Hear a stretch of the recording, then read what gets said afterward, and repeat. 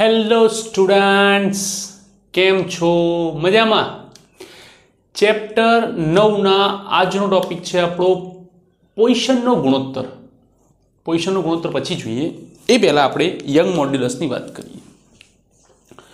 તો કે યંગ મોડ્યુલસના પ્રયોગમાં યંગ મોડ્યુલસે એવું અવલોકન કર્યું હતું યંગે કે જ્યારે તારની લંબાઈ વધે છે ત્યારે તેનું આડછેદનું ક્ષેત્રફળ ઘટે છે.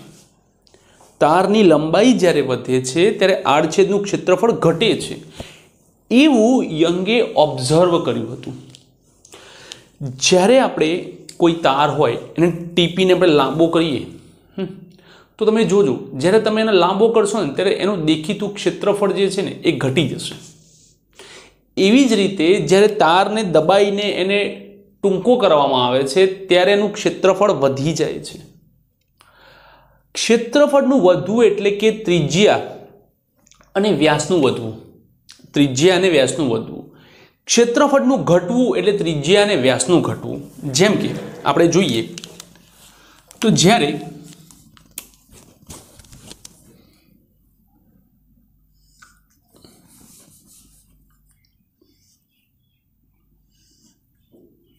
આવો કોઈ તાર હોય છે. આડછેદનું ક્ષેત્રફળ. હવે તારની લંબાઈમાં જો વધારો કરવામાં આવે,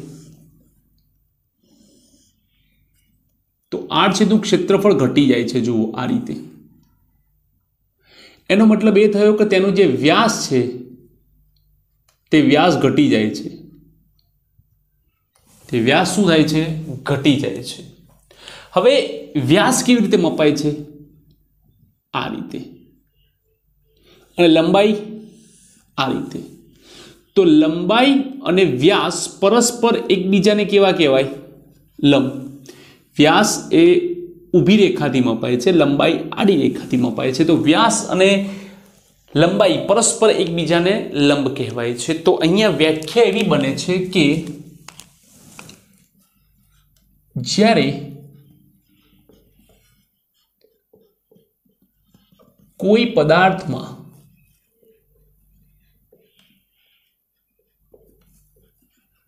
પ્રતાન વિકૃતિ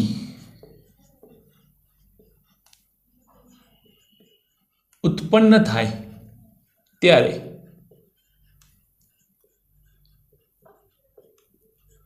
તેના લંબ પરિમાણો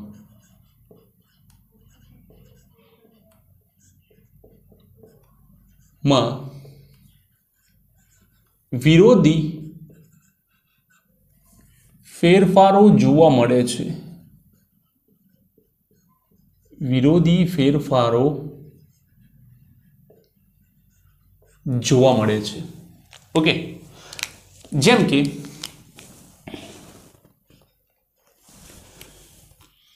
તાણીય બળની મદદથી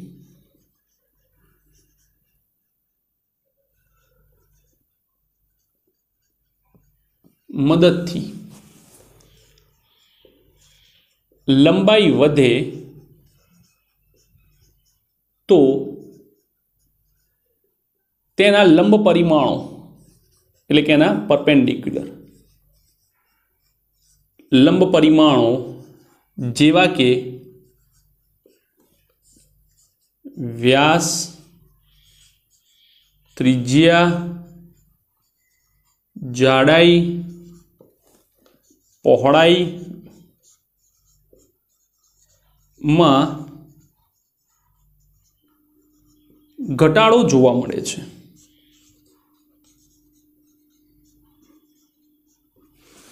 તેમાં આપણને ઘટાડો જોવા મળે છે. તો આ જે લંબ પરિમાણો જે છે, તેની વિકૃતિને પાર્શ્વીય વિકૃતિ કહે છે. કે લંબ પરિમાણોમાં ઉત્પન્ન થતી વિકૃતિ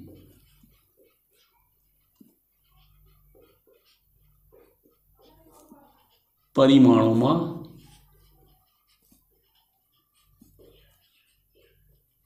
ઉત્પન્ન થતી વિકૃતિને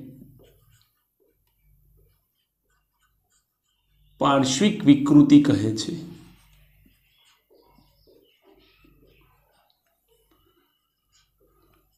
પાર્શ્વિક વિકૃતિ કહે છે. તો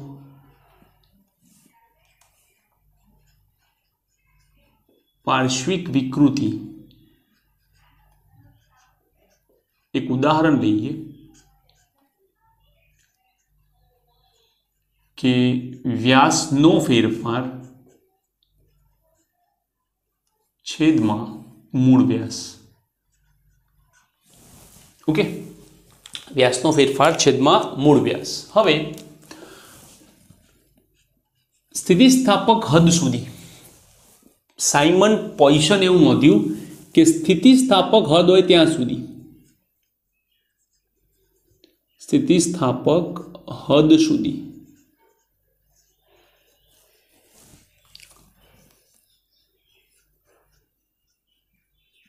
પાર્શ્વિક વિકૃતિ અને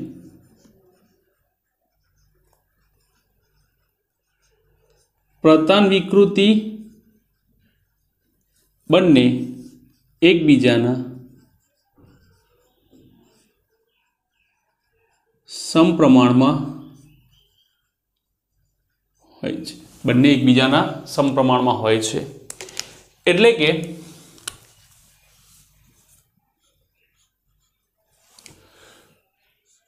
પાર્શ્વિક વિકૃતિ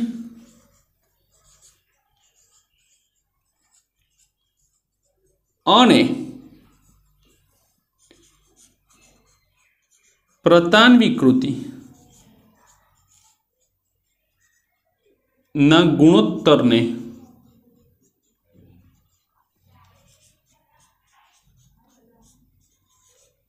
પોઈસનનો ગુણોત્તર કહે છે. શું કહે છે? પોઈસનનો ગુણોત્તર કહે છે. આપણે એક એક્ઝામ્પલ જોઈએ.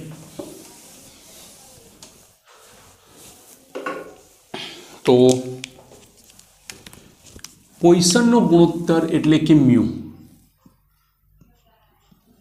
પાર્શ્વિક વિકૃતિ.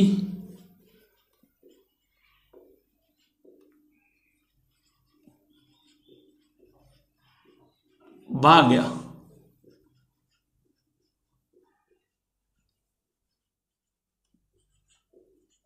પ્રતાન વિકૃતિ mu minus delta D by D divided by delta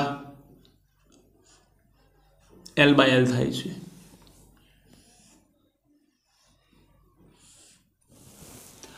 minus delta D by D divided by delta L by L થાય છે ઓકે ચલો એક એક્ઝામ્પલ જોઈએ જો કોઈ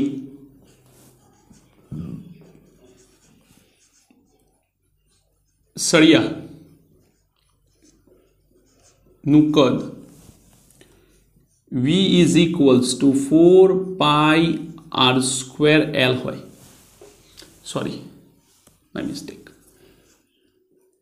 pi R square L હોય જ્યાં ત્રિજ્યા બરાબર વ્યાસ ભાગ્યા બે નો વર્ગ એલ તો થાય pi D square L by four થાય છે એનું કદ. હવે આ કદમાં જે વિકૃતિ ઉત્પન્ન થાય, delta V by V is equals to આપણે સેકન્ડ ચેપ્ટરમાં જે રીતે વિકૃતિ ગણી હતી, ત્રુટિ ગણી હતી, એવી રીતે અહીંયા વિકૃતિ ગણવાની છે.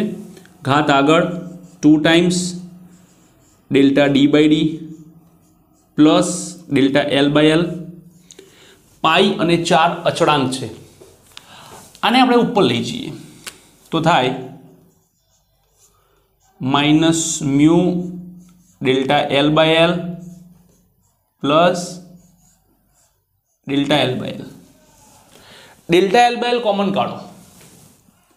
તો થાય delta V by V is equals to delta L by L. Minus two mu plus one. તો delta V by V is equals to one minus two mu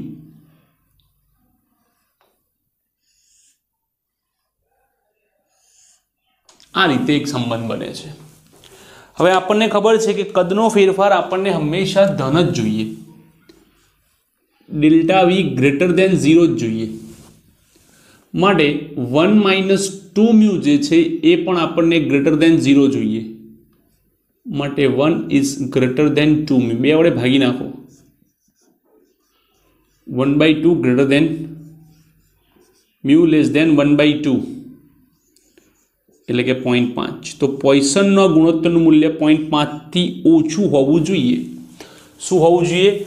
પોઈસનના ગુણોત્તરનું મૂલ્ય પોઈન્ટ પાંચથી ઓછું હોવું જોઈએ. પોઈસનના ગુણોત્તરનું મૂલ્ય પોઈન્ટ પાંચથી ઓછું જોઈએ. ઓકે તો આ છે તમારી થિયરી પોઈસનનો ગુણોત્તર. ઓકે જેમાં આપણે બધી જ સાબિતીઓ જોઈ, બધા સ્ટેટમેન્ટ્સ ઉપર કામ કર્યું છે. આઈ હોપ કે તમને આ વીડિયો ગમ્યો હશે. જો ગમ્યો હોય તો વિડીયોને લાઇક કરો કમેન્ટ કરો.